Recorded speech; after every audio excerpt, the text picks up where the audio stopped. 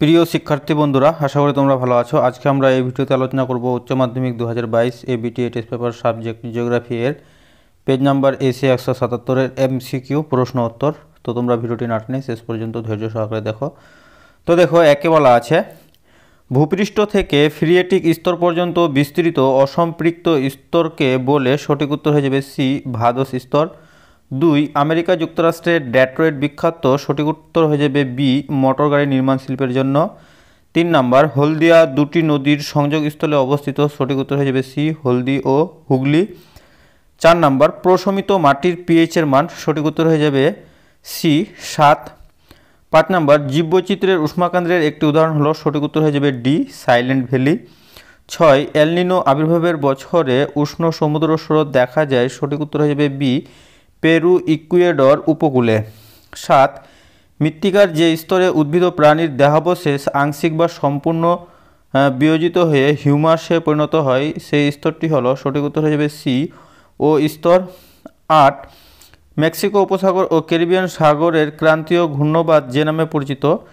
তো এর সঠিক উত্তর হয়ে যাবে, দেখো মেক্সিকো উপসাগরে দেখা যায় টর্নেডো, যার উত্তর হবে বি, আর ক্যারিবিয়ান সাগরে দেখা যায় হেরিকেন যার উত্তর হবে সি নয় নাম্বার, শ্রীলঙ্কায় যে ফসলটি লিভিং ফার্মেসি নামে পরিচিত, তা হলো সঠিক উত্তর হিসেবে বি ডাব।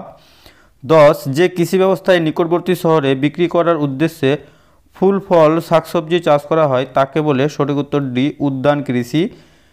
এগারো, কোন শহরের মোট জনসংখ্যা দশ লক্ষের বেশি হলে, তাকে বলে সঠিক উত্তর বি মহানগর। বারো, ভিলাই লৌহ ইস্পাত শিল্পের কেন্দ্রটি যে রাজ্যে সঠিক উত্তর হবে এ, ছত্তিশগড় রাজ্যে অবস্থিত।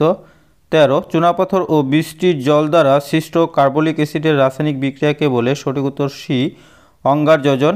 চোদ্দ, একটি আঞ্চলিক মৃত্তিকার উদাহরণ হলো সঠিক উত্তর ডি পটজল পনেরো, মিলের জাতীয় শস্য যে কৃষি পদ্ধতির প্রধান ফসল তা হলো বি, শুষ্ক কৃষি।